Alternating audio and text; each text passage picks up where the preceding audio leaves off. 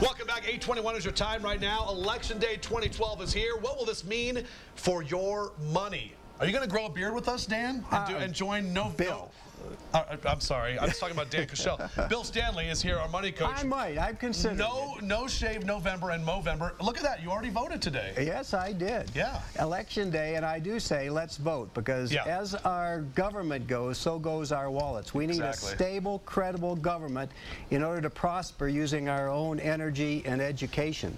And we're a military community here. Absolutely. And there's people that are out there defending and often dying to, uh, to protect our right to vote. Yet three out of 10 or four out of 10 people won't vote. Wow. In the last presidential election, two out of three of the age 18 to 24 didn't vote. And So that's the youth shameful. vote, not out there. Yes, let's get out there and vote. Now, I've often said that we need better and smarter people in Washington, and Charley Reese, a retired reporter for the Orlando Sentinel, seems to agree. He says that politicians are the only people that create problems and then campaign against them. Right, right. You know, uh, if both Republicans and Democrats are against budget deficits, why do we have deficits? right, right. and there are 300 and, or no 536 people out there the congress and the president Right. that we elect and if they don't do the job he suggests we just throw them out of office and I, my criteria for throwing somebody out of office is anybody that's accepted outside interest money Right. and that's about everybody What types of people do we have, you know, to, or, or what, what types of people do we need in Washington to better understand money? I know a lot of them are lawyers. Yes, 40% are lawyers. Do we need more lawyers? Well, my question is, how long does it take a room full of lawyers to change a light bulb? And the Right. answer is forever because they get paid by the hour and there's no incentive to get things done. Right. And they get paid to accept, to go into a position and stay with it, whether it's right or wrong or makes any sense. Lobbyists, write a lot Uh, too. yes, and in Congress, the lobby they they get paid by lobbyists to take a position, whether it's right or wrong. Uh, and my my. Uh, criteria of course is to get rid of these guys and what we need though I think more are more military people Right. because they have the concept of teamwork and mission. We need more small business people because they hire most of the people. And in that drives our economy, right? Small businesses. Exactly. We need more moms and dads and grandpas and grandpas who've raised a family within a budget.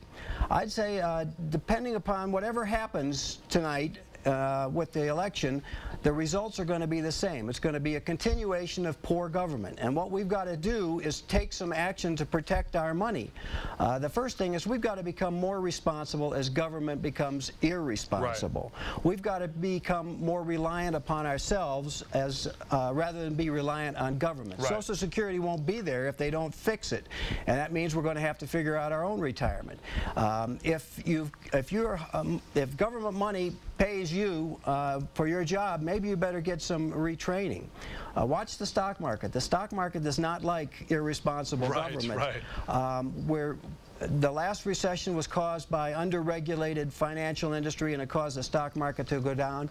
In 1987, the stock market dropped 22% in one day, and I've read reports that the stock market is no safer today than it is was then. back then, yeah, I'm saying cut down on your stocks in your the percentage in the portfolio, increase the percentage of foreign stocks because that's where the growth is going to be in the in the future.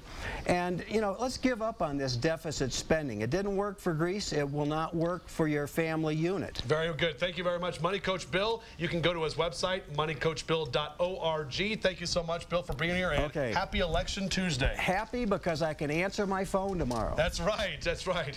no more robocalls. All right, let's take a look outside and find out what's happening. Again, uh, if you want uh, more information, you can go to his website there or email him, moneycoachbill at AOL.com. Dagwood Bumstead. That's who I'm voting for. I've been watching the comics, and Dagwood has now put himself in the race. Blondie is like, you know, really, Dagwood, are you going to do this? And he's like, yeah, I'm, I'm you know, because all he likes is sandwiches. he loves his wife, and he loves sandwiches. That's a great combination. So I'm going for Dagwood Bumstead. That's what I got. Right